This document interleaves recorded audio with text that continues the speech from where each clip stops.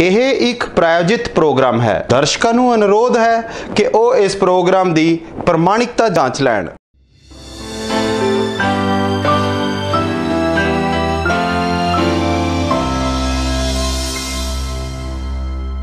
ਮੇਰੀ ਉਡਾਨ ਦੇਖ ਰਹੇ तमाम ਦਰਸ਼ਕਾਂ ਦਾ ਸਵਾਗਤ ਹਾਜ਼ਰ ਹਾਂ ਇੱਕ ਦਫਾ ਫੇਰ ਤੁਹਾਡੇ ਐਕਸਪਰਟ ਜਿਹੜਾ ਹੈਗਾ ਸਾਡੇ ਨਾਲ ਅੱਜ ਮਿਸਟਰ ਸੁਖਚੈਨ ਸਿੰਘ ਰਾਹੀ ਜੀ ਨੂੰ ਲੈ ਕੇ ਆਰਐਸ ਗਲੋਬਲ ਤੋਂ ਜਿਹੜਾ ਤੋਂ ਕਿ ਤੁਸੀਂ ਡਾਇਰੈਕਟਲੀ ਸਵਾਲ ਪੁੱਛ ਸਕਦੇ ਹੋ ਇਸ ਪ੍ਰੋਗਰਾਮ ਦੇ ਰਾਹੀਂ ਵੀ ਇਸ ਪ੍ਰੋਗਰਾਮ ਤੋਂ ਬਾਅਦ ਵੀ ਤਾਂ ਰਾਹੀ ਸਾਹਿਬ ਬਹੁਤ ਬਹੁਤ ਸਵਾਗਤ ਹੈ ਤੁਹਾਡਾ ਅੱਜ ਦੇ ਪ੍ਰੋਗਰਾਮ ਦੇ ਵਿੱਚ ਜੀ ਥੈਂਕ ਯੂ ਹਨੀ ਭਾਜੀ ਪ੍ਰੋਗਰਾਮ ਦੇਖ ਰਹੇ ਮੇਰੇ ਸਾਰੇ ਦਰਸ਼ਕਾਂ ਨੂੰ ਮੇਰੇ ਵੱਲੋਂ ਤੇ ਮੇਰੀ ਸਮੁੱਚੀ ਟੀਮ ਵੱਲੋਂ ਪਿਆਰ ਭਰੀ ਸਤਿ ਸ਼੍ਰੀ ਅਕਾਲ ਧੰਨਵਾਦ ਤੁਹਾਡੇ ਉਸ ਪਿਆਰ ਦਾ ਜੋ ਤੁਸੀਂ ਆਪਣੇ ਫੇਸਬੁੱਕ ਦੇ ਜ਼ਰੀਏ WhatsApp ਦੇ ਜ਼ਰੀਏ ਸਾਨੂੰ ਹਰ ਵਾਰ ਦਿੰਦੇ ਹੋ ਤਾਂ ਕਿ ਅਸੀਂ ਇਸ ਪ੍ਰੋਗਰਾਮ ਨੂੰ ਹਰ ਵਾਰ ਤੁਹਾਡੇ ਮੂਹਰੇ ਚੰਗੇ ਤਰੀਕੇ ਪੇਸ਼ ਕਰਨ ਲਈ ਕਾਬਲ ਸਮਰੱਥ ਬੰਦੇ ਹਾਂ ਨੰਬਰ ਨੋਟ ਕਰ ਲਓ ਤੁਸੀਂ ਦੋਸਤੋ 9501 67 777 ਇੱਕ ਨੰਬਰ ਹੈ ਦੂਸਰਾ ਨੰਬਰ ਨੋਟ ਕਰ ਸਕਦੇ ਹੋ ਤੁਸੀਂ 977 977 78 77 977 977 7877 ਕਿਸੇ ਵੀ ਨੰਬਰ ਤੇ ਤੁਸੀਂ ਕਾਲ ਕਰੋ ਰਾਈ ਸਾਹਿਬ ਦੇ ਨਾਲ ਰਾਬਤਾ ਕਾਇਮ ਕਰ ਸਕਦੇ ਹੋ ਡਾਇਰੈਕਟਲੀ ਇਹਨਾਂ ਦੇ ਆਫਿਸ ਦੇ ਵਿੱਚ ਮਿਲ ਸਕਦੇ ਹੋ ਜਲੰਧਰ ਬਿਲਕੁਲ ਬੱਸ ਸਟੈਂਡ ਦੇ ਬਿਲਕੁਲ ਨਜ਼ਦੀਕ ਇਹਨਾਂ ਦਾ ਆਫਿਸ ਹੈਗਾ ਸਟੂਡੈਂਟ ਵੀਜ਼ਾ ਚਾਹੇ ਕੈਨੇਡਾ ਦਾ ਹੋਵੇ ਚਾਹੇ ਐਸਪੀਪੀ ਹੋਵੇ ਚਾਹੇ ਨਾਨ ਐਸਪੀਪੀ ਹੋਵੇ ਵਿਦਆਊਟ ਆਈਲੈਟਸ ਹੋਵੇ ਜਾਂ ਫਿਰ ਆਸਟ੍ਰੇਲੀਆ ਦਾ ਹੋਵੇ ਆਸਟ੍ਰੇਲੀਆ ਦਾ ਸਟੂਡੈਂਟ ਵੀਜ਼ਾ ਹੋਵੇ, ਆਸਟ੍ਰੇਲੀਆ ਦਾ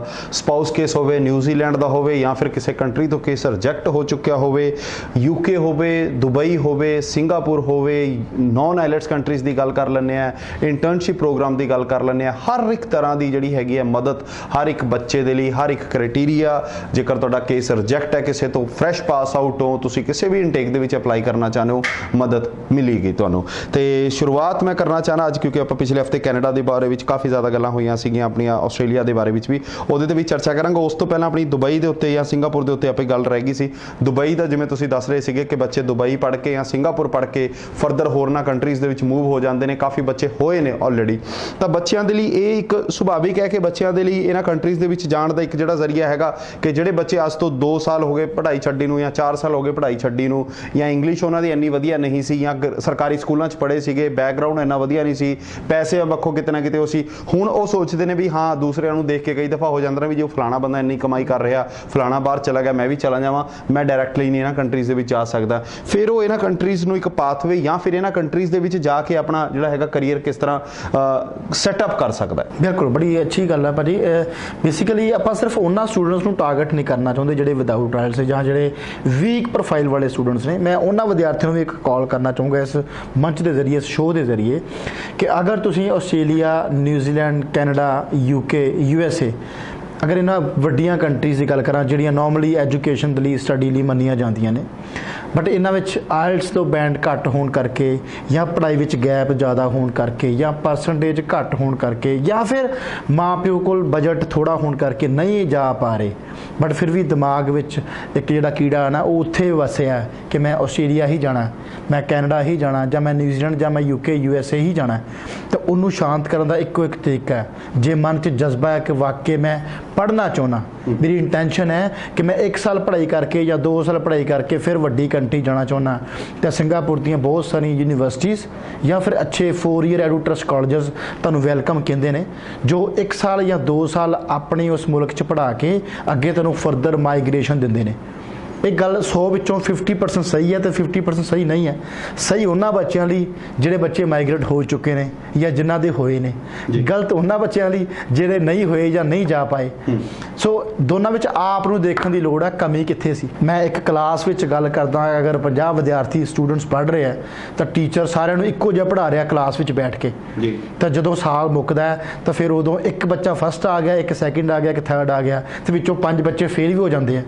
ਜਿਹੜੇ ਬੱਚੇ ਪੰਜ ਫੇਲ ਹੋ ਜਾਂਦੇ ਉਹਨਾਂ ਨੇ ਕਿਸੇ ਨਾ ਕਿਸੇ ਆਨੇ ਬਹਾਨੇ ਟੀਚਰ ਤੇ ਦੋਸ਼ ਆਇਦ ਕਰਨ ਦੀ ਕੋਸ਼ਿਸ਼ ਕਰਨੀ ਕਿ ਸਾਡਾ ਟੀਚਰ ਸਾਨੂੰ ਪੜਾਇਆ ਨਹੀਂ ਜਾਂ। ਸਾਡਾ ਪੇਪਰ ਔਖਾ ਆ ਗਿਆ ਆਊਟ ਆਫ ਸਿਲੇਬਸ ਆ ਗਿਆ ਕੁਝ ਵੀ ਫਿਰ ਬਹਾਨੇ ਮਾਰਦੇ ਆ। ਇਹ ਤੁਸੀਂ ਵੀ ਮਾਰਦੇ ਹੋ ਮੈਂ ਵੀ ਮਾਰਦਾ ਰਿਹਾ ਇਹ ਸਭ ਚੀਜ਼ਾਂ ਚੱਲਦੀਆਂ ਰਹੀਆਂ। ਬਿਲਕੁਲ ਬਿਲਕੁਲ। ਜਿਹੜਾ ਬੱਚਾ ਫਸਟ ਆ ਗਿਆ ਉਹਨੇ ਕਹਿਣਾ ਜੀ ਹਾਂ ਹਾਂ ਠੀਕ ਹੈ ਜੀ ਮੈਨੂੰ ਟੀਚਰ ਨੇ ਬਹੁਤ ਅੱਛਾ ਪੜਾਇਆ ਸੋ ਅਸੀਂ ਦੋਸ਼ ਕਿਸੇ ਤੇ ਦੇਣ ਦੀ ਕੋਸ਼ਿਸ਼ ਕਰਦੇ ਹਾਂ। ਸੋ ਜਿਹੜੇ ਬੱਚੇ ਸਿੰਗਾਪੁਰ ਤੋਂ ਮਾਈਗ੍ਰੇਟ ਨਹੀਂ ਹੋ ਪਾਏ ਉਹਦੇ ਚ 100% ਉਹ ਦੋਸ਼ ਸਿੰਗਾਪੁਰ ਦੇ ਕਾਲਜਸ ਨੂੰ ਜਾਂ ਯੂਨੀਵਰਸਿਟੀ ਨੂੰ ਜਾਂ ਫਿਰ ਉਹਨਾਂ ਏਜੰਟਸ ਨੂੰ ਦੇਣ ਦੀ ਕੋਸ਼ਿਸ਼ ਕਰਨਗੇ ਜਿਨ੍ਹਾਂ ਨੇ ਉਹਨੂੰ ਸਿੰਗਾਪੁਰ ਭੇਜਿਆ। ਬਟ ਗਲਤੀ ਤੁਹਾਡੀ ਆਪਣੀ ਹੈ। ਜਿਵੇਂ ਉਹ ਸਟੂਡੈਂਟ ਦੀ ਗਲਤੀ ਸੀ ਜਿਹੜਾ ਪੜ੍ਹ ਕੇ ਜਿਹਨੇ ਪੜ੍ਹਾਈ ਨਹੀਂ ਕੀਤੀ, ਮਿਹਨਤ ਨਹੀਂ ਕੀਤੀ ਫੇਲ ਹੋ ਗਿਆ। ਸੋ ਸੇਮ ਉਸੇ ਤਰ੍ਹਾਂ ਗਲਤੀ ਤੁਹਾਡੀ ਆਪਣੀ ਹੈ। ਸਿੰਗਾਪੁਰ ਜਾਣ ਤੋਂ ਪਹਿਲਾਂ ਗੱਲਾਂ ਦਾ ਖਿਆਲ ਰੱਖੋ। ਕਿਹੜੀਆਂ ਗੱਲਾਂ ਖਿਆਲ ਰੱਖਣਾ? ਅੱਜ ਧਿਆਨ ਨਾਲ ਮੇਰਾ ਸ਼ੋਅ ਸੁਣ ਲਿਓ। ਮਿੰਟ 5 ਲਵਾਂਗਾ ਸ਼ਾਇਦ ਉਹ 5 ਮਿੰਟ ਤੁਹਾਡੀ ਜ਼ਿੰਦਗੀ ਦਾ ਇੱਕ ਮੁਹਾਰ ਪੂਰਾ ਮੋਹਰਾ ਤੁਹਾਡਾ ਚਿਹਰਾ ਬਦਲ ਸਕਣ। ਸਿੰਗਾਪੁਰ ਜਾਣ ਵੇਲੇ ਸਭ ਤੋਂ ਪਹਿਲਾਂ ਇਹ ਦੇਖਣਾ ਕਿ ਜਿਸ ਕੰਸਲਟੈਂਟ ਦੇ ਕੋਲੋਂ ਮੈਂ ਅਪਲਾਈ ਕਰਨ ਲੱਗਿਆ ਉਹ ਕੰਸਲਟੈਂਟ ਮੇਰੇ ਨਾਲ ਕਿੰਨਾ ਕੁ ਪ੍ਰੋਫੈਸ਼ਨਲੀ ਜੁੜਿਆ ਜਾਂ ਕਿੰਨਾ ਕੁ ਪਰਸਨਲੀ ਜੁੜਿਆ। ਉਹ ਸਿਰਫ ਤੁਹਾਡੇ 'ਚ ਵੱਧ ਕਾਲਜ ਜਿਹੜਾ ਕਮਿਸ਼ਨ ਦਿੰਦਾ ਉਹ ਵੇਖ ਰਿਹਾ ਜਾਂ ਮੋਟਾ ਪੈਕੇਜ ਤੁਹਾਨੂੰ ਵੱਡਾ ਟੀਕਾ ਲਾ ਰਿਹਾ ਜਾਂ ਕੀ ਦੇਖ ਰਿਹਾ। ਦੂਜੀ ਚੀਜ਼ ਇਹ ਦੇਖਣੀ ਹੈ ਅੱਜ ਤੱਕ ਉਸ ਕੰਸਲਟੈਂਟ ਦੇ ਬੱਚੇ ਕਿੰਨੇ ਕੁ ਮਾਈਗ੍ਰੇਟ ਹੋਏ ਆ। ਤੀਜੀ ਚੀਜ਼ ਇਹ ਦੇਖਣੀ ਹੈ ਕਿ ਜੇ ਪੈਕੇਜ 3 ਲੱਖ ਦਾ ਜਾਂ ਸਵਾ ਤਿੰਨ ਲੱਖ ਦਾ ਜਾਂ 4 ਲੱਖ ਦਾ ਜਾਂ 4.5 ਲੱਖ ਦਾ ਲਿਆ ਜਾ ਰਿਹਾ ਉਹਦੇ 'ਚ ਇਨਕਲੂਡ ਕੀ ਕੀ ਹੈ ਉਸ ਤੋਂ ਬਾਅਦ ਚੌਥੀ ਚੀਜ਼ ਇਹ ਦੇਖਣੀ ਹੈ ਕਿ ਜਿਹੜੇ ਕਾਲਜ ਮੈਂ ਪੜ੍ਹਨ ਚੱਲਿਆ ਉਸ ਕਾਲਜ ਦੀ ਪਿਛਲੇ 10 ਸਾਲਾਂ ਦਾ ਰਿਕਾਰਡ ਰੈਪੂਟੇਸ਼ਨ ਕੀ ਰਹੀ ਹੈ ਅੱਜ ਤੱਕ 10 ਸਾਲਾਂ 'ਚ ਉਸ ਕਾਲਜ 'ਚੋਂ ਕਿੰਨੇ ਬੱਚੇ ਮਾਈਗ੍ਰੇਟ ਹੋਏ ਆ? ਤੇ ਜਿਹੜੇ ਬੱਚੇ ਮਾਈਗ੍ਰੇਟ ਹੋਏ ਉਹਨਾਂ ਦੀ ਕੀ ਕੀ ਪ੍ਰੋਫਾਈਲ ਸੀਗੀਆਂ? ਜੇ ਬੱਚੇ ਮਾਈਗ੍ਰੇਟ ਨਹੀਂ ਹੋਏ ਤਾਂ ਕਿੰਨਾ ਕਾਰਨਾ ਕਰਕੇ ਨਹੀਂ ਹੋਏ? You need to do research ਆਪਣੇ ਲੈਵਲ ਤੇ ਰਿਸਰਚ ਕਰਨੀ ਪਊਗੀ। ਹਰ ਇੱਕ ਦੇ ਹੱਥਾਂ 'ਚ ਫੋਨ ਆ। ਆਪਾਂ WhatsApp Facebook social media use ਕਰਦੇ ਆ। ਆਪਣੇ ਚੰਗੇ ਪਾਸੇ ਵੀ ਯੂਜ਼ ਕਰ ਸਕਦੇ ਆ। ਨੈਟ ਦੇ ਉੱਤੇ ਹਰ ਇੱਕ ਕਾਲਜ ਹਰ ਇੱਕ ਯੂਨੀਵਰਸਿਟੀ ਹਰ ਇੱਕ ਕੰਟਰੀ ਦੀ ਵੈਬਸਾਈਟ ਹਰ ਇੱਕ ਐਮਬੈਸੀ ਦੀ ਵੈਬਸਾਈਟ ਸਾਰਾ ਕੁਝ ਅਵੇਲੇਬਲ ਹੈ ਆਪਾਂ ਨੂੰ 2-4 ਦਿਨ ਮਿਹਨਤ ਕਰਕੇ ਅਗਰ ਇੱਕ ਸਹੀ ਰਸਤਾ ਦਿਖਦਾ ਹੈ, ਤਾਂ ਮੇਰੇ ਖਿਆਲ ਉਹ ਮਿਹਨਤ ਜ਼ਰੂਰ ਕਰਨੀ ਚਾਹੀਦੀ ਹੈ। ਮੇਰੇ ਟੀਵੀ 'ਚ ਬੋਲਣ ਦੇ ਨਾਲ ਅਖਬਾਰਾਂ 'ਚ ਵੱਡੀ ਵੱਡੀ ਐਡਵਰਟਾਈਜ਼ਮੈਂਟ ਦੇਣ ਨਾਲ ਜ਼ਿੰਦਗੀ ਤੁਹਾਡੀ ਨਹੀਂ ਬਣਨੀ। ਤੁਹਾਡੀ ਜ਼ਿੰਦਗੀ, ਤੁਹਾਡੀ ਕੀਤੀ ਹੋਈ ਮਿਹਨਤ ਕਰਕੇ ਬਣਨੀ ਹੈ। ਇਹ ਮੈਂ ਸਮਝ ਤੇ ਅੱਜ ਬੋਲਦਾ ਪਿਆ, ਪਿਛਲੇ 12 ਸਾਲ ਚ ਚੰਗੇ ਮਾੜੇ ਤਜਰਬੇ ਹੰਢਾ ਕੇ ਇੱਥੇ ਬੈਠਾ, ਤੋਂ ਆਪਣੀ ਉਸ ਮਿਹਨਤ ਸਦਕਾ ਬੈਠਾ। ਤੁਹਾਡੇ ਸਹਿਯੋਗ, ਤੁਹਾਡੇ ਪਿਆਰ, ਉਸ ਮਾਲਕ ਦੇ ਆਸ਼ੀਰਵਾਦ ਕਰਕੇ ਬੈਠਾ। ਸੋ ਤੁਹਾਨੂੰ ਵੀ ਮਿਹਨਤ ਕਰਨੀ ਪੈਣੀ ਹੈ। ਅਗਰ ਜ਼ਿੰਦਗੀ ਵਿੱਚ ਜ਼ਿੰਦਗੀ 'ਚ ਆਪਾਂ ਆਮ ਸੁਣਦੇ ਨਾ ਕਿ ਮਰਨ ਤੋਂ ਬਾਅਦ ਸਵਰਗ ਕਿੰਨੇ ਵੇਖਿਆ ਜਾਓ ਕਿ ਦੇਖਿਆ। ਤੇ ਜੇ ਸਵਰਗ ਤੁਸੀਂ ਵੇਖਣਾ ਚਾਹੁੰਦੇ ਹੋ, ਤਾਂ ਮਰਨਾ ਵੀ ਤੁਹਾਨੂੰ ਪੈਣਾ। ਇਹ ਪੋਸੀਬਲ ਨਹੀਂ ਹੈ ਕਿ ਸਵਰਗ ਤੁਸੀਂ ਦੇਖੋ ਤੇ ਮਰਾਂ ਮੈਂ। ਸੋ ਜੇ ਤੁਸੀਂ ਕਿਸੇ ਚੀਜ਼ ਦਾ ਆਨੰਦ ਲੈਣਾ ਚਾਹੁੰਦੇ ਹੋ, ਮਿਹਨਤ, ਸ਼ਗਲ ਰਿਸਰਚ ਤੁਹਾਨੂੰ ਖੁਦ ਨੂੰ ਕਰਨੀ ਪਊਗੀ, ਕਿਉਂਕਿ ਜ਼ਿੰਦਗੀ ਤੁਹਾਡੀ ਹੈ, ਪੈਸਾ ਤੁਹਾਡਾ ਹੈ ਕੈਰੀਅਰ ਤੁਹਾਡਾ ਫਿਊਚਰ ਤੁਹਾਡਾ ਹੈ। ਤੇ ਫਿਰ ਕੋਈ ਕੰਸਲਟੈਂਟ ਕਿਵੇਂ ਚੂਜ਼ ਕਰੇ ਕਿ ਕੌਣ ਕਿਵੇਂ, ਕਿੱਦਾਂ ਤੁਸੀਂ ਚੂਜ਼ ਕਰੋਗੇ? ਯੈਸ ਇੱਕ ਸਿਆਣਾ ਕੰਸਲਟੈਂਟ ਰਸਤਾ ਦਿਖਾ ਸਕਦਾ। ਮੈਂ ਕੋਈ ਟਰੈਵਲ ਏਜੰਟ ਨਹੀਂ ਹਾਂ। ਮੈਂ ਆਪਣੇ ਆਪ ਨੂੰ ਇੱਕ ਕੈਰੀਅਰ ਕਾਉਂਸਲਰ ਕਹਿੰਦਾ ਕਿ ਮੈਂ ਤੁਹਾਨੂੰ ਰਸਤਾ ਦਿਖਾ ਸਕਦਾ। ਆਹ ਰਸਤਾ ਹੈ ਆਹ ਰਸਤਾ ਹੈ ਆਹ ਰਸਤਾ ਹੈ ਆਹ ਰਸਤਾ ਹੈ। ਇਹਦਾ ਆਹ ਖਰਚਾ ਹੈ ਇਹਦਾ ਆਹ ਖਰਚਾ ਹੈ ਇਹਦਾ ਆਹ ਨੁਕਸਾਨ ਇਹਦਾ ਫਾਇਦਾ। ਸੋ ਰਸਤਿਆਂ ਦੀ ਆਪਸ਼ਨ ਦੇਣਾ ਮੇਰਾ ਕੰਮ ਹੈ ਜੋ ਮੇਰਾ ਬਿਜ਼ਨਸ ਜੋ ਮੇਰਾ ਪ੍ਰੋਫੈਸ਼ਨ ਆ। ਚੂਜ਼ ਤੁਸੀਂ ਕਰਨਾ ਹੈ ਕਿਉਂਕਿ ਪੈਸਾ ਤੁਹਾਡਾ ਹੈ ਜ਼ਿੰਦਗੀ ਤੁਹਾਡੀ ਹੈ ਕੈਰੀਅਰ ਤੁਹਾਡਾ ਹੈ। ਸੋ ਰਿਸਰਚ ਦੋਸਤੋ ਉਹ ਤੁਹਾਨੂੰ ਕਰਨੀ ਪਊਗੀ। ਸਿੰਗਾਪੁਰ ਨੂੰ ਲੈ ਕੇ ਬਹੁਤ ਜ਼ਿਆਦਾ ਨੈਗੇਟਿਵਿਟੀ ਮਾਰਕੀਟ 'ਚ ਲੋਕਾਂ 'ਚ ਸਟੂਡੈਂਟਸ ਵੇਖਣ ਨੂੰ ਸੁਣਨ ਨੂੰ ਮਿਲਦੀ ਹੈ 100 ਵਿੱਚੋਂ 10 ਬੱਚੇ ਮਿਲਦੇ ਆ ਜਿਹੜੇ ਕਹਿੰਦੇ ਨਹੀਂ ਵਾਕਈ ਮੇਰਾ ਫਲਾਣਾ ਸਿੰਗਾਪੁਰ ਤੋਂ ਮਾਈਗ੍ਰੇਟ ਹੋਇਆ ਮੇਰਾ ਫਲਾਣਾ ਹੋਇਆ 90 ਬੱਚੇ ਕਹਿੰਦੇ ਨਹੀਂ ਹੋਇਆ।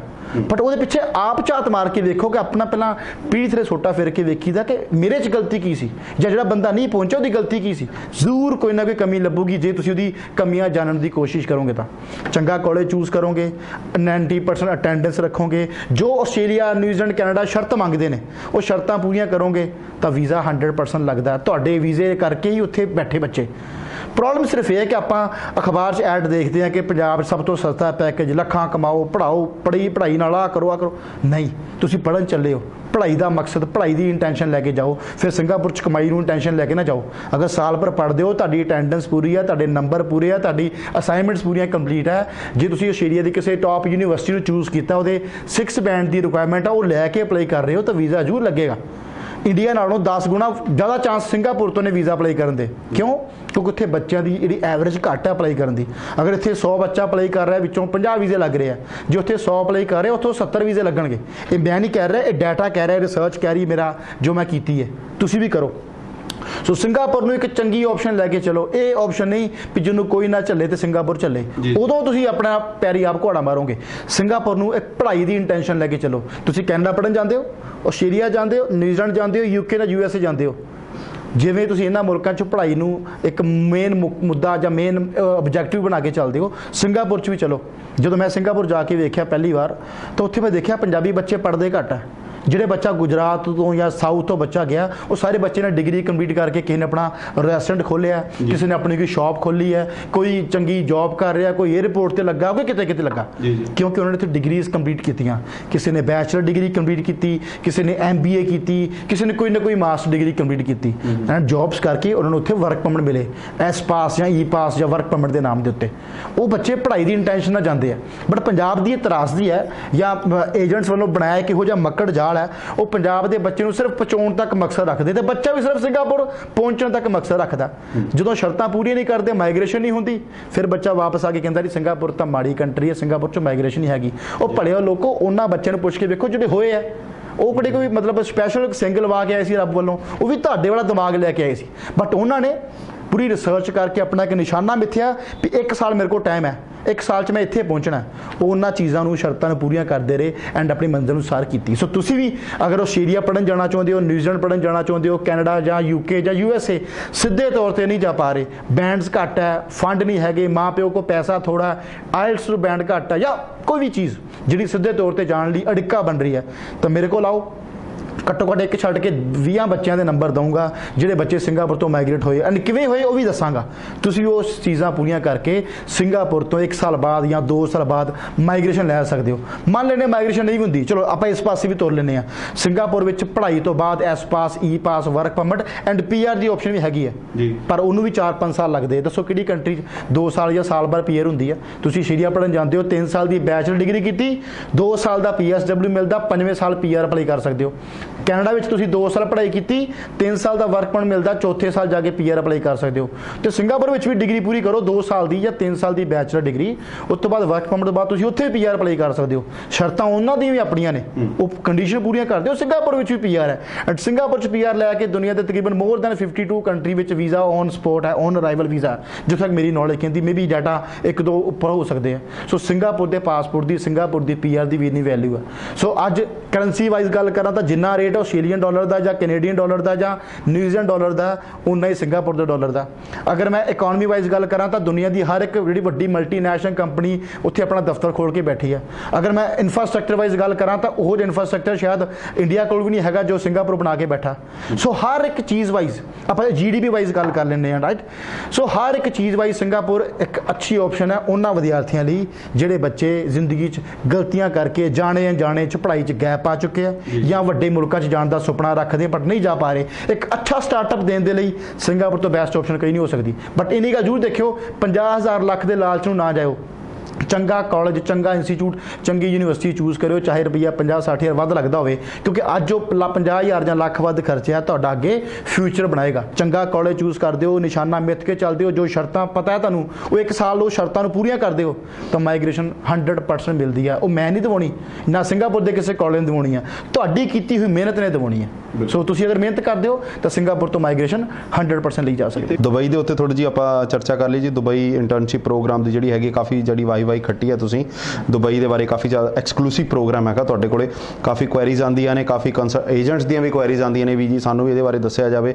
ਬਾਕੀ ਦੁਬਈ ਦੇ ਵਿੱਚ ਬੱਚੇ ਜਿਹੜੇ ਗਏ ਨੇ, ਉਹਨਾਂ ਦਾ ਕੀ ਬੱਚਿਆਂ ਦੇ ਕੈਰੀਅਰ ਕੀ ਸਕਸੈਸ ਸਟੋਰੀਜ਼ ਇਸ ਦਫਾ ਇਸ ਇਨਟੇਕ ਦੀਆਂ ਤੁਸੀਂ ਦੱਸਣਾ ਚਾਹੁੰਦੇ ਹੋ ਦਰਸ਼ਕਾਂ ਨੂੰ? ਦੁਬਈ ਦੇ ਜਿਹੜੇ ਕਾਲਜ ਅਸੀਂ ਪ੍ਰਮੋਟ ਕਰ ਰਹੇ ਹਾਂ ਐਕਸਕਲੂਸਿਵਲੀ ਰਾਈਟਸ ਆਰਐਸ ਗੋਬਲ ਦੇ ਕੋਲ ਆ, ਜਿਵੇਂ ਕਿ ਸਭ ਨੂੰ ਪਤਾ ਹੈ, ਜਿਹੜੇ ਸ਼ੋਅ ਨਾਲ ਜੁੜੇ ਸਾਡੇ ਪਿਛਲੇ ਤਕਰੀਬਨ ਇਸੇ ਮੰਚ ਤੋਂ ਮੈਂ 2013 ਦੇ ਅਖੀਰ ਚ ਆਪਾਂ ਸ਼ੁਰੂ ਕੀਤਾ ਸੀਗਾ। Dubai international chef training programme ਹੁਣ ਤੱਕ ਤੁਹਾਡੇ ਸਾਰਿਆਂ ਦੇ ਪਿਆਰ ਸਹਿਯੋਗ ਨਾਲ ਐਂਡ ਰੱਬ ਦੇ ਆਸ਼ੀਰਵਾਦ ਨਾਲ ਬੜਾ ਸਕਸੈਸਫੁਲੀ ਚੱਲ ਰਿਹਾ। ਜਿਹੜਾ ਸਟੂਡੈਂਟ ਜ਼ਿੰਦਗੀ ਵਿੱਚ ਭੇਡ ਚਾਲ ਤੋਂ ਵੱਖਰਾ ਹੋ ਕੇ ਕੁਝ ਜ਼ਿੰਦਗੀ 'ਚ ਨਵੇਂ ਮਾਰਗ ਵੇਖਣਾ ਚਾਹੁੰਦਾ, ਨਵੀਆਂ ਪਲਾਂਘਾਂ ਪੁੱਟਣਾ ਚਾਹੁੰਦਾ, ਉਹਦੇ ਲਈ ਦੁਬਈ ਦਾ ਪ੍ਰੋਫੈਸ਼ਨਲ ਸ਼ੈਫ ਟ੍ਰੇਨਿੰਗ ਪ੍ਰੋਗਰਾਮ ਇੱਕ ਇਹੋ ਜਿਹਾ ਹੈ, ਜੋ Canada Australia U S A U K ਜਾਂ ਯੂਰਪ ਦੇ ਕਿਸੇ ਵੀ ਵੱਡੇ ਹੋਟਲ ਦੇ ਵਿੱਚ ਅਗਰ ਆਪਾਂ 5 ਸਟਾਰ ਜਾਂ 7 ਸਟਾਰ ਹੋਟਲਸ ਦੀ ਗੱਲ ਕਰੀਏ ਜਾਂ ਆਪਾਂ ਕਿਚਨ ਦੀ ਗੱਲ ਕਰੀਏ ਜਾਂ ਇੱਕ ਸ਼ੈਫ ਇੰਡਸਟਰੀ ਦੀ ਗੱਲ ਕਰੀਏ ਬਹੁਤ ਵੱਡੀ ਇੰਡਸਟਰੀ ਹੈ। ਅਗਰ ਆਪਾਂ ਉਹਦੀ ਗੱਲ ਕਰੀਏ ਤਾਂ ਬੱਚਾ ਉਹ ਸਿਰਫ ਇੱਕ ਜ਼ੀਲ ਚਾਹੀਦੀ ਹੈ। ਆਮ ਤੌਰ ਤੇ ਬੱਚੇ ਪੁੱਛਦੇ ਸਰ ਰਿਕੁਆਇਰਮੈਂਟ ਕੀ ਹੈ? ਕੋਈ ਰਿਕੁਆਇਰਮੈਂਟ ਨਹੀਂ ਹੈ। ਕਾਲਜ ਵਾਲੇ ਸਿਰਫ ਪਲੱਸ 2 ਪਾਸ ਬੱਚਾ ਮੰਗਦੇ ਆ। ਐਂਡ ਦੂਜਾ ਉਹਦੇ ਮਾਪਿਓ ਕੋਲ 8-9 ਲੱਖ ਰੁਪਏ ਬਜਟ ਹੋਵੇ, ਕਿਉਂਕਿ ਇਹਦੀ ਫੀਸ ਅਕਮੋਡੇਸ਼ਨ ਫੂਡ ਸਭ ਕੁਝ ਮਿਲਾ ਕੇ ਜਿਹੜਾ ਖਰਚਾ ਬੱਚੇ ਦਾ ਆ ਜਾਂਦਾ ਹੈ, ਉਹ 8 ਤੋਂ 9 ਲੱਖ ਰੁਪਏ ਆਉਂਦਾ, ਘੱਟੋ ਘੱਟ। ਬਾਕੀ ਡਿਪੈਂਡ ਯੂਐਸ ਡਾਲਰ ਕਿੰਨਾ ਚੱਲਦਾ ਹੈ ਡਾਲਰ ਦੇ ਉੱਤੇ ਡਿਪੈਂਡ ਕਰਦਾ, ਕਿਉਂਕਿ ਫੀਸ ਯੂਐਸ ਡਾਲਰ ਵਿੱਚ ਜਾਂਦੀ ਹੈ। ਸੋ 3 ਮੰਥਸ ਦੀ ਸਟੱਡੀ ਹੈ। ਇੱਕ ਸਾਲ ਦੀ ਪੇਡ ਇੰਟਰਨਸ਼ਿਪ ਹੈ। ਸਵਾ ਸਾਲ ਬੱਚੇ ਨੂੰ ਇੰਡਸਟਰੀ 'ਚ ਜੌਬ ਲਈ ਭੇਜ ਦਿੱਤਾ ਜਾਂਦਾ ਹੈ। ਐਂਡ ਜਿਹੜੀ ਪਲੇਸਮੈਂਟ ਹੈ will be provided by the college college ਬੱਚੇ ਨੂੰ ਪਲੇਸ ਕਰਾਉਂਦਾ ਹੈ। ਐਂਡ ਅੱਜ ਤੱਕ ਜਿਹੜਾ ਸਕਸੈਸ ਰੇਟ ਰਿਹਾ ਉਹ 100% ਰਿਹਾ ਪਲੇਸਮੈਂਟ ਦਾ। ਇੱਕ ਦੋ ਬੱਚੇ ਨੂੰ ਪ੍ਰੋਬਲਮ ਜ਼ਰੂਰ ਆਈਆਂ ਸੀ ਕਿਉਂਕਿ ਜਿਹੜੇ ਬੱਚੇ ਸ਼ਾਕਾਹਾਰੀ ਨੇ ਜਾਂ। ਜਿਹੜੇ ਬੱਚੇ ਨਾਨ ਵੈਜ ਨਹੀਂ ਹੈਗੇ ਨਹੀਂ ਖਾਣਾ ਬਣਾਉਣਾ ਚਾਹੁੰਦੇ ਉਹਨਾਂ ਨੂੰ ਜੌਬ ਦੀ ਜ਼ਰੂਰ ਦਿੱਕਤ ਆਈਆਂ ਸੀ। ਸੋ ਉਹ ਬੱਚੇ ਸੋਚ ਸਮਝ ਕੇ ਅਪਲਾਈ ਕਰਨ। ਕਿਉਂਕਿ ਹੋਟਲ ਇੰਡਸਟਰੀ ਇੱਕ ਪੰਜਾਬੀ ਚ ਕਹਾਵਤ ਹੈ ਕਿ ਜਦੋਂ ਹਲਵਾਈ ਹੈ ਤਾਂ ਹਲਵਾਈ ਨੂੰ ਸਭ ਕੁਝ ਬਣਾਉਣਾ ਪੈਣਾ। ਜੀ, ਜੀ, ਉਹਨੂੰ ਪਨੀਰ ਵੀ ਬਣਾਉਣਾ ਪੈਣਾ ਉਹਨੂੰ ਨਾਨ ਵੈਜ ਵੀ ਬਣਾਉਣਾ ਪੈਣਾ। ਸੋ ਜਿਹੜੇ ਬੰਦੇ ਵੈਜੀਟੇਰੀਅਨ ਨੇ ਸ਼ਾਕਾਹਾਰੀ ਨੇ ਉਹਨਾਂ ਨੂੰ ਥੋੜੀ ਜਿਹੀ ਦਿੱਕਤਾਂ ਜ਼ਰੂਰ ਆਉਂਦੀਆਂ। ਸੋ ਸੋਚ ਸਮਝ ਕੇ ਅਪਲਾਈ ਕਰਿਓ। ਪਰ ਜਿਨ੍ਹਾਂ ਬੰਦੇ ਨੂੰ ਇਹੋ ਜੀ ਕੋਈ ਨਹੀਂ ਹੈ ਕਿ ਪ੍ਰੋਬਲਮ ਮੈਂ ਵੈਜ ਬਣਾਵਾਂ ਜਾਂ ਨਾਨ ਵੈਜ ਬਣਾਵਾਂ। ਸੋ ਉਹਨਾਂ ਲਈ ਆਪਸ਼ਨ ਰਸਤੇ ਦਰਵਾਜ਼ੇ ਖੁੱਲੇ ਨੇ।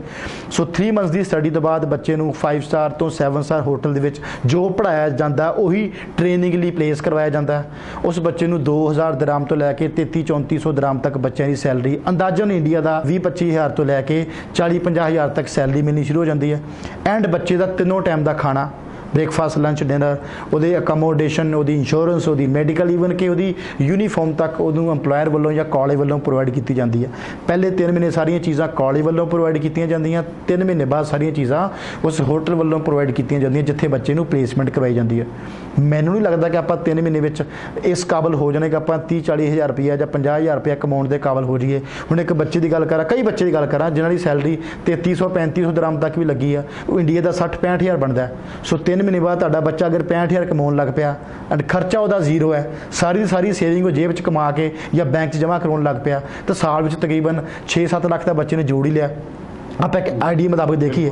ਸੋ ਅੱਜ ਬੱਚੇ ਨੂੰ ਬੀਟੈਕ ਕਰਾਉਣੇ ਆ ਕਿਉਂਕਿ ਪੰਜਾਬ 'ਚ ਨਾ ਬੀਟੈਕ ਦਾ ਬਹੁਤ ਰਿਵਾਜ ਆ। ਪਲੱਸ 2 ਕੀਤੀ ਜੀ ਬੀਏ ਥੋੜੀ ਜਿਹੀ ਕਮਜ਼ੋਰ ਲੱਗਦੀ ਆ ਬੀਕਾਮ ਦਾ ਫਾਇਦਾ ਨਹੀਂਗਾ ਅੱਗੇ ਜੌਬ ਨਹੀਂ ਮਿਲਦੀਆਂ। ਚਲੋ ਛੱਡੋ ਬੀਐਸਸੀ ਸਾਡੇ ਬੱਚੇ ਕੋਲ ਹੋਣੀ ਨਹੀਂ ਬੀਟੈਕ ਕਰਾ ਦਿੰਨੇ ਆ। ਸੋ ਹਰ ਕੋਈ ਬੱਚਾ ਹਰ 10 ਪਿੱਛੇ 6 ਬੱਚੇ ਬੀਟੈਕ ਕਰਨ ਤੁਰੇ ਆ। ਬੀਟੈਕ ਕਰਕੇ ਰੁਪਈਆ 10 ਲੱਖ ਖਰਚ ਲਿਆ 4 ਸਾਲ ਵੀ ਲਾ ਲਏ ਮੁੜ ਕੇ ਜੌਬ ਜਦੋਂ ਬੱਚਾ ਲੈਣ ਜਾਂਦਾ ਬਾਇਓਡਾਟਾ ਫੜ ਕੇ ਇੰਡਸਟਰੀ 'ਚ ਆਪਣੀ ਜੌਬ ਲਈ, ਅਸਲ ਜ਼ਿੰਦਗੀ ਜਦੋਂ ਸ਼ੁਰੂ ਹੁੰਦੀ ਹੈ, ਤੇ ਕੋਈ ਬੰਦਾ ਨੂੰ 8-10 ਹਜ਼ਾਰ ਤੋਂ ਉੱਪਰ ਪੰਜਾਬ ਦੇ ਵਿੱਚ ਜੌਬ ਆਫਰ ਕਰਨ ਨੂੰ ਤਿਆਰ ਨਹੀਂ ਹੁੰਦਾ। ਇਹ ਮੇਰੀ ਗੱਲ ਕਿੰਨੀ ਸੱਚੀ ਹੈ, ਤੁਸੀਂ ਆਪ ਜਾਣਦੇ ਹੋ, ਤੁਹਾਡੇ ਜੇ ਕਿਸੇ ਨਾਲ ਬੀਤੀ ਹੈ ਤਾਂ। ਔਰ ਇੱਕ ਪਾਸੇ 3 ਮਹੀਨੇ ਪੜ੍ਹਾਈ ਕੀਤੀ ਐਂਡ 3 ਮਹੀਨੇ ਬਾਅਦ ਨਿਕਲਦੇ ਆ ਸਾਰ ਉਹਨੂੰ ਘੱਟੋ ਘੱਟ 30 ਤੋਂ 40 ਹਜ਼ਾਰ ਮਿਲਣਾ ਸ਼ੁਰੂ ਹੋ ਗਿਆ। ਫਿਰ ਰਹਿਣਾ ਸਹਿਣਾ, ਖਾਣਾ ਪੀਣਾ ਫ੍ਰੀ ਔਰ ਉਹ ਵੀ 5 ਸਟਾਰ ਹੋਟਲ ਦੇ ਵਿੱਚ, ਜਿਹੜੇ ਹੋਟਲ 'ਚ ਇੱਕ- ਇੱਕ ਮੱਧ ਵਰਗੀ ਪਰਿਵਾਰ ਦਾ ਬੱਚਾ ਰਾਤ ਦਾ ਖਾਣਾ ਵੀ ਅਫੋਰਡ ਨਹੀਂ ਕਰ ਸਕਦਾ।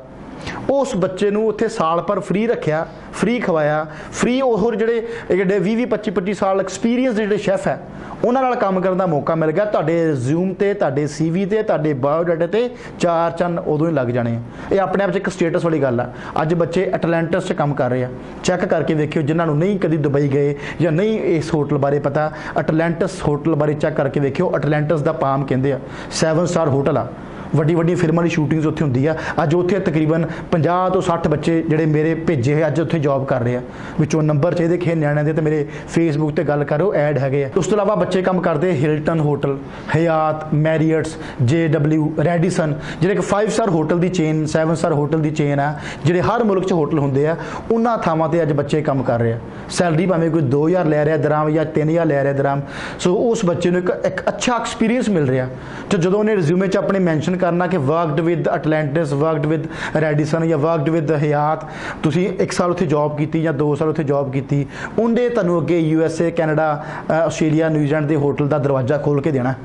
ਕਿਉਂਕਿ ਅੱਜ ਆਪਾਂ ਇੱਕ ਮਰੂਤੀ ਕੰਪਨੀ 'ਚ ਕੰਮ ਕਰ ਰਹੇ ਹਾਂ। ਇੱਕ ਆਪਾਂ ਆਡੀ ਜਾਂ BMW ਜਾਂ ਪੋਸ਼ ਦੀ ਕੰਪਨੀ 'ਚ ਕੰਮ ਕਰ ਰਹੇ ਹਾਂ। ਇੰਜੀਨੀਅਰ ਜਿਹੜਾ, ਉਹਦੇ ਆਟੋਮੈਟਿਕਲੀ ਬੈਨੀਫਿਟਸ ਮਿਲਦੇ ਮਿਲਦੇ ਆ। ਸੋ ਪੜ੍ਹਾਈ ਇੱਕ ਇਹੋ ਜੀ ਜੋ ਤੁਹਾਡੇ ਬੱਚੇ ਨੂੰ ਇੱਕ ਰੀਅਲਿਸਟਿਕ ਜ਼ਿੰਦਗੀ 'ਚ ਪੈਰ ਧਰਨਾ ਸਿਖਾਉਂਦੀ ਆ।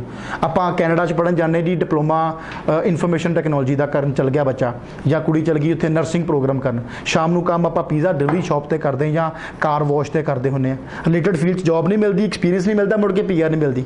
ਬਟ ਦੁਬਈ ਵਿੱਚ ਜਿਹੜੀ ਪੜ੍ਹਾਈ ਤੁਹਾਨੂੰ ਕਰਾਈ ਜਾਏਗੀ ਰਿਲੇਟਡ ਫੀਲਡ 'ਚ ਜੌਬ ਦਿਵਾਉਣਾ ਕਾਲਜ ਦੀ ਰਿਸਪੌਂਸਿਬਿਲਟੀ ਆ। ਸੋ ਕਾਲਜ ਜਿਹੜਾ ਪੜ੍ਹਾਈ ਕਰਾਉਂਦਾ, ਕਿਉਂਕਿ ਪਿਓਰਲੀ 80% ਪ੍ਰੈਕਟੀਕਲ ਆ। ਕਿਚਨ ਦੇ ਵਿੱਚ ਕੰਮ ਸਿਖਾਉਣਾ। ਹੁਣ ਆਪਾਂ ਜੇ ਇੱਥੇ ਗੱਲ ਕਰੀਏ ਵੀ ਤੁਹਾਨੂੰ ਚਾਹ ਬਣਾਉਣੀ ਸਿਖਾਈ ਜਾਊਗੀ, ਕਾਪੀ ਤੇ ਲਿਖ ਕੇ ਦਿਖਾਓ ਜੀ, ਪਹਿਲਾਂ ਤੁਸੀਂ ਪਤੀਲਾ ਲਓ, ਫਿਰ ਪਾਣੀ ਧਰੋ ਫਿਰ ਖੰਡ ਪਾਓ, ਪੱਤੀ ਪਾਓ, ਦੁੱਧ ਪਾਓ ਚਾਹ ਬਣ ਜਾਏਗੀ। ਉਹ ਲਿਖਣ ਨਾਲ ਨਹੀਂ ਹੋਣੀ। ਉਹ ਦਿਖਾਉਣ ਨਾਲ ਹੋਣੀ ਹੈ ਵੀ ਲੈ ਫੜ ਕਾਕਾ ਆ ਪਿਆ ਗੈਸ ਚੁੱਲਾ ਆ ਪਤੀਲਾ, ਖੰਡ, ਪੱਤੀ, ਪਾਣੀ ਬਣਾ ਕੇ ਦਿਖਾ। ਉਹ ਪ੍ਰੈਕਟੀਕਲ ਦੇ ਨਾਲ ਹੋਣੀ। ਸੋ ਸੇਮ ਇਹ ਪੜ੍ਹਾਈ ਵੀ ਪੂਰੀ ਪ੍ਰੈਕਟੀਕਲ ਆ। ਇੱਕ ਛੋਟੀ ਜਿਹੀ ਐਗਜ਼ਾਮਪਲ ਦਿੱਤੀ ਮੈਂ। ਸੋ 85% ਸਾਰੀ ਪ੍ਰੈਕਟੀਕਲ ਹੈ 15% ਬੱਚੇ ਨੂੰ ਕਮਿਊਨੀਕੇਸ਼ਨ ਦੇ ਲਈ ਇੰਪਰੂਵ ਕੀਤਾ ਜਾਂਦਾ ਹੈ। ਜਿਹੜੇ ਬੱਚੇ ਇੰਟਰਵਿਊ ਦੇਣ ਤੋਂ ਡਰਦੇ ਆ, ਜਿਹੜੇ ਬੱਚੇ ਇੰਗਲਿਸ਼ ਬੋਲਣ ਤੋਂ ਡਰਦੇ ਆ, ਸੋ ਉਹਨਾਂ ਦੀ ਐਕਸਟਰਾ ਕਲਾਸਿਸ ਲਵਾਈਆਂ ਜਾਂਦੀਆਂ। ਸੋ ਬਹੁਤ ਇੱਕ ਅੱਛੀ ਆਪਸ਼ਨ ਆ, ਤੁਸੀਂ ਜ਼ਿਆਦਾ ਜਾਣਕਾਰੀ ਲਈ ਸਾਡੇ ਫੇਸਬੁੱਕ ਤੇ ਜਿਹੜੇ ਬੱਚੇ ਹੁਣ ਤੱਕ ਪਹੁੰਚ ਚੁੱਕੇ ਆ, ਤਕਰੀਬਨ ਹੁਣ ਤੱਕ ਮੋਰ ਦੈਨ 100 ਬੱਚੇ ਅਸੀਂ ਹੁਣ ਤੱਕ ਭੇਜ ਚੁੱਕੇ ਆ। ਉਹਨਾਂ ਬੱਚਿਆਂ ਦੇ ਟੈਸਟੀਮੋਨੀਅਲ ਸੁਣ ਸਕਦੇ ਹੋ, ਉਹਨਾਂ ਬੱਚਿਆਂ ਦੀ ਫੇਸਬੁੱਕ ਆਈਡੀ ਤੇ ਜਾ ਕੇ ਉਹਨਾਂ ਦੇ ਕੰਟੈਕਟ ਨੰਬਰ ਲੈ ਕੇ ਉਹਨਾਂ ਨਾਲ ਗੱਲਬਾਤ ਕਰ ਸਕਦੇ ਹੋ। ਸੋ ਅਗਰ ਉਹ ਮਾਪਿਓ ਜਿਹੜੇ ਆਪਣੇ ਬੱਚੇ ਨੂੰ ਚੰਗਾ ਭਵਿੱਖ ਦੇਣਾ ਚਾਹੁੰਦੇ ਆ, ਜਾਂ ਅਗਰ ਉਹ ਵਿਦਿਆਰਥੀ ਜਿਹੜਾ ਮੇਰਾ ਸ਼ੋਅ ਦੇਖ ਰਿਹਾ, ਆਪਣੀ ਜ਼ਿੰਦਗੀ 'ਚ ਭੇਡ ਚਾਲ ਕੈਨੇਡਾ, ਆਸਟ੍ਰੇਲੀਆ, ਨਿਊਜ਼ੀਲੈਂਡ ਤੋਂ ਹਟ ਕੇ ਇੱਕ ਵੱਖਰੀ ਜ਼ਿੰਦਗੀ ਜਿਉਣਾ ਚਾਹੁੰਦੇ ਆ ਚਾਹੇ ਤੁਸੀਂ ਦੁਨੀਆ ਦੇ ਹਰ ਕੰਟਰੀ ਤੋਂ ਰਿਫਿਊਜ਼ ਹੋ ਚੁੱਕੇ ਹੋ। ਕੋਈ ਪ੍ਰੋਬਲਮ ਨਹੀਂ। ਆਇਲਸ ਨਹੀਂ ਕੀਤੀ, ਕੋਈ ਪ੍ਰੋਬਲਮ ਨਹੀਂ। ਫੰਡ ਨਹੀਂ ਹੈਗੇ, ਕੋਈ ਪ੍ਰੋਬਲਮ ਨਹੀਂ। ਕਿਉਂਕਿ ਇਹਦੇ ਵਿੱਚ ਨਾ ਕੋਈ ਫੰਡ ਵਿਖਾਉਣੇ ਆ, ਨਾ ਤੁਹਾਡੇ ਵਿੱਚ ਕੋਈ ਮੈਡੀਕਲ ਹੋਣਾ, ਨਾ ਤੁਹਾਡੀ ਇਹ 'ਚ ਕੋਈ ਇੰਟਰਵਿਊ ਹੋਣੀ ਹੈ ਐਂਡ ਨਾ ਤੁਹਾਨੂੰ ਇਹਦੇ 'ਚ ਕੋਈ ਡਾਕੂਮੈਂਟੇਸ਼ਨ ਦੇਣੇ ਪੈਣੇ ਆ। ਸਿਰਫ ਦੋ ਚੀਜ਼ਾਂ ਚਾਹੀਦੀਆਂ।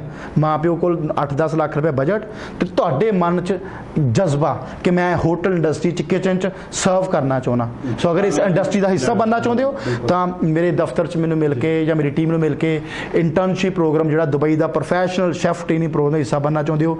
ਹਰ ਮਹੀਨੇ ਦੇ ਇਨਟੇਕ ਚੱਲਦੇ ਨੇ ਉਹਦੀ ਡਿਟੇਲ 'ਚ ਜਾਣਕਾਰੀ ਲੈ ਸਕਦੇ ਹੋ। ਦਾਵਾ ਕਰਦਾ ਇੱਕ ਚੰਗੇ ਰਸਤੇ ਤੇ ਪਹੁੰਚਾਊਂਗਾ ਜਿਹੜੇ ਆਲਰੇਡੀ ਪਹੁੰਚਾ ਚੁੱਕਾ ਉਹਨਾਂ ਬੱਚਿਆਂ ਦੇ ਰੈਫਰੈਂਸ ਜ਼ਰੂਰ ਲੈ ਸਕਦੇ ਹੋ। ਅੱਜ ਆਪਾਂ ਦੁਬਈ ਸਿੰਗਾਪੁਰ ਪਾਥਵੇ ਪ੍ਰੋਗਰਾਮ ਦੀ ਗੱਲ ਕੀਤੀ ਹੈ ਕੈਨੇਡਾ ਦੇ ਉੱਤੇ ਜਾਂਦੇ ਜਾਂਦੇ ਚਰਚਾ ਜ਼ਰੂਰ ਕਰ ਹਾਂ ਕਿਉਂਕਿ ਜਿਨ੍ਹਾਂ ਨੇ ਜਨਵਰੀ ਇਨਟੇਕ ਦੇ ਉੱਤੇ ਕੁਐਰੀਜ਼ ਸਾਡੇ ਪਿਛਲੇ ਹਫ਼ਤੇ ਕੀਤੀਆਂ ਸੀਗੀਆਂ ਉਹਨਾਂ ਦੇ ਉੱਤੇ ਚਰਚਾ ਕਰ ਲੈਂਦੇ ਹਾਂ। ਨੰਬਰ 9501767777 ਦੂਸਰਾ ਨੰਬਰ ਹੈ 9779777877 ਤਾਂ ਮੈਸੇਜ ਦੇ ਤੌਰ ਤੇ ਕੈਨੇਡਾ ਵਾਲੇ ਸਟੂਡੈਂਟਸ ਲਈ ਕੀ ਕਹਿਣਾ ਚਾਹੁੰਦੇ ਹੋ? ਮੈਸੇਜ ਇਹੋ ਸਰ ਸਤੰਬਰ ਇਨਟੇਕ ਆਲਮੋਸਟ ਫਿਨਿਸ਼ ਹੋ ਚੁੱਕਾ। ਅਗਰ ਕੋਈ ਕੰਸਲਟੈਂਟ ਸਤੰਬਰ ਇਨਟੇਕ ਦਾ ਦਾਵਾ ਕਰਦਾ ਤਾਂ ਆਮ 100% ਸ਼ੋਰ ਉਹ ਸਿਰਫ ਬੇਵਕੂਫ ਬਣਾਊਗਾ ਥੋੜਾ ਟਾਈਮ ਟਪਾਊਗਾ। ਜਦੋਂ ਤੁਹਾਡਾ ਟਾਈਮ ਨਿਕਲ ਗਿਆ ਫਿਰ ਕਹੂਗਾ ਜੀ ਯਾਰ ਹੁਣ ਜਨਵਰੀ ਆਫ ਲੈਟਰ ਆ ਗਈ ਚਲੋ ਜਨਵਰੀ ਦੀ ਆਫ ਲੈਟਰ ਲਈ ਅਪਲਾਈ ਕਰ ਦਿੰਦੇ ਆ ਸੋ ਕਰਨਾ ਉਹਨੇ ਵੀ ਉਹੀ ਆ ਮੈਂ ਦੱਸ ਕੇ ਕਰਨਾ ਉਹਨੇ ਥੋੜਾ ਝੁਕਾ ਕੇ ਕਰਨਾ। ਸੋ ਜਨਵਰੀ ਇਨਟੇਕ ਸ਼ੁਰੂ ਹੋ ਚੁੱਕਾ ਸਤੰਬਰ ਦੀਆਂ ਆਫਰਸ ਆਉਣੀਆਂ ਬੰਦ ਹੋ ਚੁੱਕੀਆਂ। ਮੋਸਟਲੀ ਚੰਗੇ ਕਾਲਜਸ ਚੰਗੇ ਕੋਰਸਸ ਦੇ ਵਿੱਚ। ਸੋ ਇਸ ਟਾਈਮ ਜਨਵਰੀ ਦਾ ਇਨਟੇਕ ਚੱਲ ਰਿਹਾ। ਅਪਲਾਈ ਕਰੋ। ਟਾਈਮ ਸਿਰ ਕੱਟ ਕਿਉਂਕਿ ਘੱਟੋ ਘੱਟ 2 ਤੋਂ ਲੈ ਕੇ 2.5 ਮਹੀਨੇ ਐਮਬੈਸੀ 'ਚ ਟਾਈਮ ਲੱਗ ਰਿਹਾ। ਰਿਜ਼ਲਟ ਨੂੰ ਲੈ ਕੇ। ਜੋ ਮੇਰਾ ਆਪਣਾ ਤਜਰਬਾ ਰਿਹਾ, ਮੇਰੇ ਜਿਹੜੇ ਵੀ ਬੱਚਿਆਂ ਦੇ ਵੀਜ਼ੇ ਲੱਗ ਕੇ ਆਏ ਆ, ਸਾਰਿਆਂ ਦੇ 60 65 ਦਿਨਾਂ ਬਾਅਦ ਹੀ ਲੱਗ ਕੇ ਆਏ ਆ। ਆਫਰ ਲੈਟਰ ਨੂੰ 15 ਤੋਂ ਲੈ ਕੇ 30 ਦਿਨ ਲੱਗ ਰਹੇ ਆ। ਕੋਈ ਯੂਨੀਵਰਸਿਟੀ ਵੱਧ ਟਾਈਮ ਵੀ ਲਗਾ ਰਹੀ ਹੈ। ਮੈਡੀਕਲ ਨੂੰ ਵੀ ਟਾਈਮ ਲੱਗ ਰਿਹਾ, ਸੋ ਪੂਰਾ ਪ੍ਰੋਸੀਜਰ ਪਹਿਲਾਂ ਸੀਗਾ। ਅੱਗੇ ਇੱਕ ਟਾਈਮ ਸੀਗਾ, ਅੱਜ ਤੋਂ ਮਤਲਬ 6 ਮਹੀਨੇ ਪਹਿਲਾਂ ਗੱਲ ਕਰਾਂ, ਤਾਂ 4-4 ਦਿਨ 'ਚ ਵੀ ਕੈਨੇਡਾ ਦੇ ਵੀਜ਼ੇ ਆਉਂਦੇ ਸੀ। 2 ਦਿਨ 'ਚ ਆਫਰ ਲੈਟਰ ਆ ਜਾਂਦੀ ਸੀ। ਪੂਰਾ ਪ੍ਰੋਸੀਜਰ 20 ਦਿਨਾਂ 'ਚ ਬੱਚਾ ਵੀਜ਼ਾ ਲੈ ਕੇ ਵਿਹਲਾ ਹੋ ਜਾਂਦਾ ਸੀ। ਅੱਜ ਉਹ ਪ੍ਰੋਸੀਜਰ ਘੱਟੋ ਘੱਟ 3 ਤੋਂ ਲੈ ਕੇ 4 ਮਹੀਨੇ ਤੱਕ ਦਾ ਬਣ ਚੁੱਕਿਆ ਹੈ। ਆਫਰ ਲੈਟਰ ਅਪਲਾਈ ਕਰਨ ਤੋਂ ਲੈ ਕੇ ਵੀਜ਼ਾ ਲੱਗਣ ਤੱਕ। ਸੋ ਅੱਜ ਜਨਵਰੀ ਨੂੰ ਇਹਨਾਂ ਸੋਚੋ 6 ਮਹੀਨੇ ਪਏ ਆ। ਇਹ ਸੋਚੋ ਕਿ ਹੁਣ ਟਾਈਮ ਨਿਕਲ ਗਿਆ, ਜਦੋਂ ਜਾ ਕੇ ਉਦੋਂ ਸਵੇਰ ਸੋ। ਜਨਵਰੀ ਡੇਕ ਸ਼ੁਰੂ ਹੋ ਚੁੱਕਿਆ, ਜਦੋਂ ਹੀ ਮੇਰੀ ਆਵਾਜ਼ ਇਹ ਸ਼ੋਅ ਤੁਹਾਡੇ ਤੱਕ ਪਹੁੰਚਦਾ ਹੈ, ਜਨਵਰੀ ਨੂੰ ਹਲੇ ਟਾਈਮ ਪਿਆ। ਇਹ ਸੋਚ ਕੇ ਵੇਟ ਨਾ ਕਰੋ। ਅਗਰ ਆਇਲਸ ਨਹੀਂ ਵੀ ਕੀਤੀ, ਤਾਂ ਤੁਸੀਂ ਹਲੇ ਆਇਲਸ ਦੀ ਵੇਟ ਕਰ ਰਹੇ ਹੋ ਜਾਂ ਰਿਜ਼ਲਟ ਦੀ ਵੇਟ ਕਰ ਰਹੇ ਹੋ, ਤਾਂ ਵੀ ਤੁਸੀਂ ਆਪਣੀ ਕੰਡੀਸ਼ਨਲ ਆਫਰ ਅਪਲਾਈ ਕਰ ਸਕਦੇ ਹੋ। ਜਿੰਨਾ ਵਿਦਿਆਰਥੀਆਂ ਨੇ 60 65% ਦੇ ਉੱਪਰ ਨੰਬਰ ਨੇ ਓਵਰਆਲ ਇੰਗਲਿਸ਼ ਅੱਛੀ ਬੋਲ ਸਕਦੇ ਆ। ਉਹਨਾਂ ਬੱਚਿਆਂ ਨੂੰ ਵਿਦਆਊਟ ਆਇਲਸ ਯੂਨੀਵਰਸਿਟੀ ਚ ਡਿਗਰੀ ਚ ਦਾਖਲਾ ਕਰਾਵਾਂਗੇ। ਉਹਨਾਂ ਦਾ ਵਿਦਆਊਟ ਆਇਲਸ ਵੀਜ਼ਾ ਲੈ ਕੇ ਦਿੱਤਾ ਜਾਏਗਾ। ਜਿਹੜੇ ਬੱਚੇ 5.5 ਬੈਂਡ 5 ਵਿੱਚ ਹੈਗੇ ਨੇ, ਦੋ ਤਿੰਨ ਵਾਰ ਐਗਜ਼ਾਮ ਦੇ ਚੁੱਕੇ, ਨਹੀਂ ਬੈਂਡ 6 ਆ ਰਹੇ ਐਸਪੀਪੀ ਕੈਟਾਗਰੀ ਤੋਂ ਇਲਾਵਾ ਉਹ ਵੀ ਯੂਨੀਵਰਸਿਟੀ ਕੈਟਾਗਰੀ ਵਿੱਚ ਫਾਊਂਡੇਸ਼ਨ ਪ੍ਰੋਗਰਾਮ ਦੇ ਨਾਲ ਬੈਚਲਰ ਡਿਗਰੀ ਅਪਲਾਈ ਕਰ ਸਕਦੇ ਆ। ਜਿਨ੍ਹਾਂ ਦੇ 6 ਬੈਂਡ ਹੈਗੇ, ਉਹ ਤਾਂ ਆਲਰੇਡੀ ਐਸਪੀਪੀ ਚ ਅਪਲਾਈ ਕਰ ਹੀ ਸਕਦੇ ਨੇ। ਬਟ ਜਿਹੜੇ ਬੱਚੇ ਰਿਫਿਊਜ਼ ਹੋ ਚੁੱਕੇ ਨੇ 6 ਬੈਂਡ ਹੈਗੇ ਨੇ 60 65% ਨੰਬਰ ਆ, ਉਹਨਾਂ ਬੱਚਿਆਂ ਨੂੰ ਮੈਂ ਦਾਵਾ ਕਰਦਾ ਕਿ ਚੰਗੀ ਸਲਾਹ ਜ਼ਰੂਰ ਦਊਂਗਾ। ਅਗਰ ਕੇਸ ਲੱਗਣ ਵਾਲਾ ਹੋਇਆ, ਤਾਂ ਕੇਸ ਲੈ ਕੇ ਉਸ ਰਿਫਿਊਜ਼ਲ ਨੂੰ ਮੈਂ ਵੀਜ਼ੇ ਤੱਕ ਪਹੁੰਚਾ ਕੇ ਦਿਖਾਊਂਗਾ। ਜ਼ਿਆਦਾ ਜਾਣਕਾਰੀ ਲਈ ਸਾਡੇ ਆਰਐਸ ਗਲੋਬਲ ਇਮੀਗ੍ਰੇਸ਼ਨ ਜਲੰਧਰ ਦੇ ਆਫੀਸ਼ੀਅਲ ਫੇਸਬੁੱਕ ਤੇ ਸਾਡੇ ਨਾਲ ਜੁੜੋ। ਉੱਥੇ ਹਰ ਰੋਜ਼ ਮੇਰੀ ਟੀਮ ਜਾਂ ਮੈਂ ਤੁਹਾਨੂੰ ਅਲੱਗ-ਅਲੱਗ ਤਰ੍ਹਾਂ ਦੀ ਜਾਣਕਾਰੀਆਂ ਵੰਡਦੇ ਆ ਸੋਮਵਾਰ ਵਾਲੇ ਦਿਨ ਸ਼ਾਮ ਨੂੰ 4 ਵਜੇ ਲਗਭਗ ਘੰਟਾ, ਡੇਢ ਘੰਟਾ ਮੈਂ ਤੁਹਾਡੇ ਲਾਈਵ ਹੁੰਨਾ ਉੱਥੇ।